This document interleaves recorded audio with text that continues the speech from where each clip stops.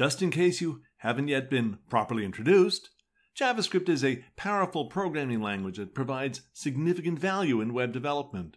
Benefits include server side development through Node.js, client side interactivity where scripts run directly within your user's browsers, responsive and interactive user interfaces, broad API and third party service integration that permits multi tier applications, cross platform mobile app development through frameworks like React Native and Ionic, and near universal browser support and vast ecosystems of libraries, frameworks, and tools. If you're planning to add interactivity into any of your websites, then you'll need to pick up your JavaScript skills. But the basics are actually pretty straightforward. And if you've already got experience with another programming language, then you'll be moving way beyond the basics in no time. By the way, there isn't really any technical connection between JavaScript and the Java programming language. Sometime after Brendan Eich created his LiveScript language at Netscape in just 10 days back in 1995, legend has it, he renamed his project JavaScript to leverage the popularity of Java at the time. But that was more of a marketing strategy than an indication of any technical relationship. In this section, we're going to explore the basics of JavaScript syntax and functionality. We'll see how JavaScript handles data variables, how it can create and call functions, and how you can use JavaScript to manipulate HTML and CSS. Let's get started. Much the way you saw with CSS, you can include JavaScript code in your web pages either by referencing an external .js file as an attribute of a script tag, or by dropping your code between script tags in the header section of your HTML. Both work fine.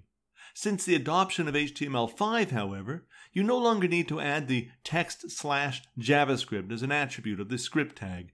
At this point, JavaScript is the default scripting language for HTML. Here's a simple hello world kind of script that'll work to get us up and running. You can see that the JavaScript is all in between the two script tags and contains its own comment line. I really don't know why it has to be this way, but the comment escape codes for one language never seem to work for another. In the JavaScript world, it seems that you'll need two forward slashes. The first line of real code introduces a new function that's named greet. The parentheses are necessary, and I assure you, you'll make good use of them later. The function's code must all lie between two curly braces, the way you see here. This function is just two lines. The first uses var to declare a variable that'll be called name.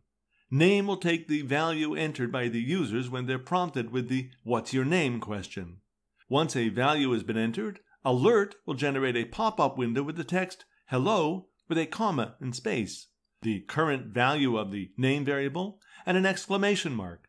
The plus character serves to concatenate all these values into a single sentence. But hang on, you can't see any name entry field in this page, can you?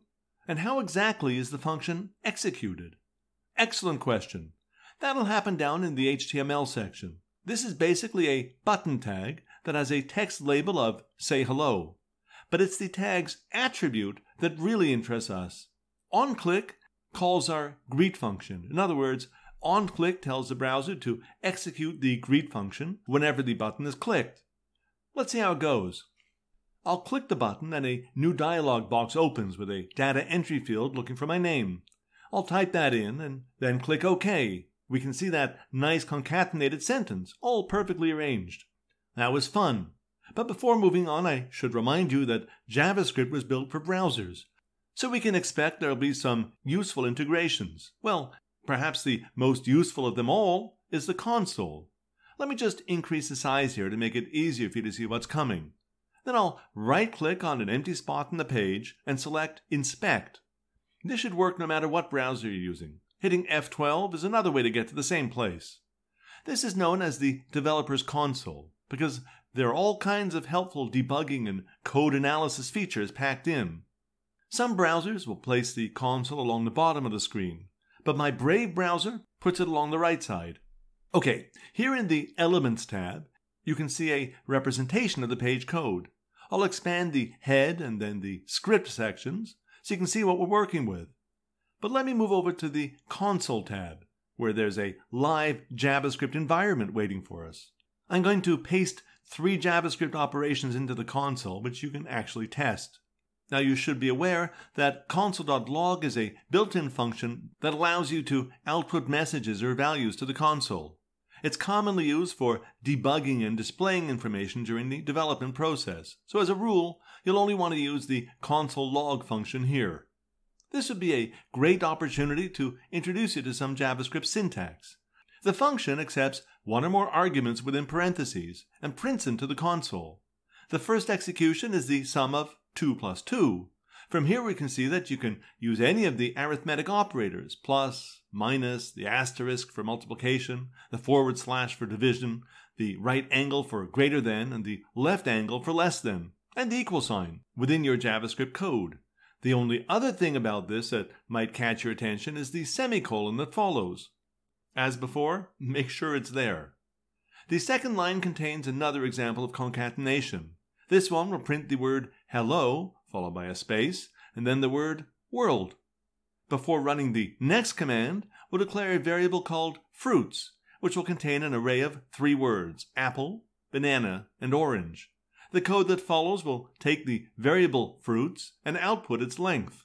I'll hit enter to run all the commands in one go. There are three lines of output four, hello world, and three, which is exactly what we would have expected.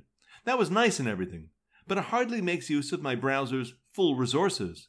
So now let me run a command that's got an error. I'll add a couple of illegal characters to the operation, hit enter again, and see what happens. Aha! An uncaught syntax error. If this were real code, we'd be a step closer to solving a bug.